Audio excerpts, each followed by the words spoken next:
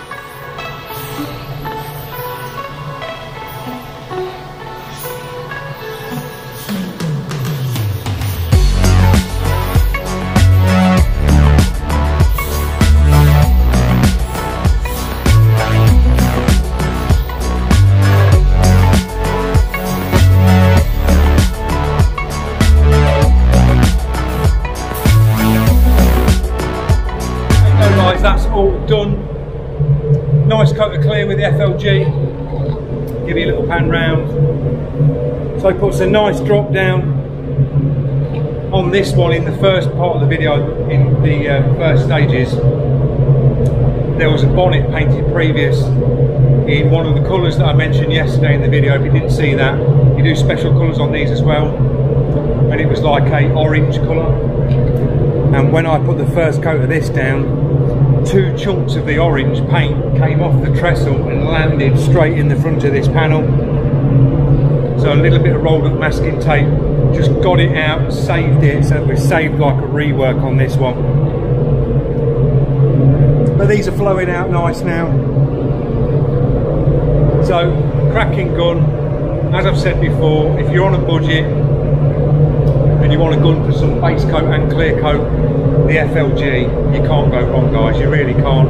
If you can't afford the next step up like the Pro or the Pro Lite, you'll get to grips with the FLG. It's a good starting out gun, it's nice and comfortable in your hand. It's easy to set up, nice fan pattern, you can see what you're doing. Two bar pressure, I ran that out just opened it up a little bit more with the second coat. This is a 1.4 setup in this one. Puts the cracking finish down. Not a real glassy finish. You've got a little bit of peel there. But flat enough for these. So I hope you enjoyed the video. Hope you can join me in the next one. If it's going to be in here again tomorrow, try and get hold of another gun and do a different gun tomorrow. So this video was dedicated to Brian. I know you're watching. I know you're watching, mate. You're gonna have nightmares tonight because it's these things again. But yeah, I'll see you in the next one, guys. Thanks for watching.